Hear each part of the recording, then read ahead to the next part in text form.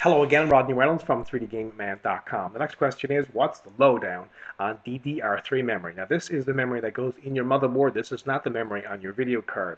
So is DDR3 memory really faster than the older standard DDR2? Well, before I answer that question, I want to go through some of the advantages and disadvantages to DDR3 memory over DDR2. Well, first of all, it's faster, more bandwidth. It requires less voltage therefore produces less heat. They're good things, really good things.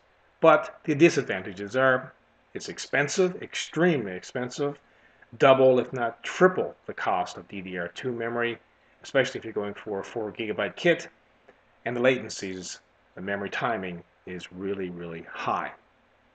And that is the big killer between DDR2 and DDR3 memory. DDR2 memory has very tight timings and therefore uh, the memory at even a lower speed will match or sometimes outperform DDR3 memory at a higher speed. So you've got bandwidth versus memory latency when it comes to DDR2 and DDR3 memory. But again, the new standard is DDR3. And remember, DDR3 is not backward compatible with DDR2. So you can't put DDR3 modules in a DDR2 motherboard and vice versa. Hope this answers your question. Keep your questions coming.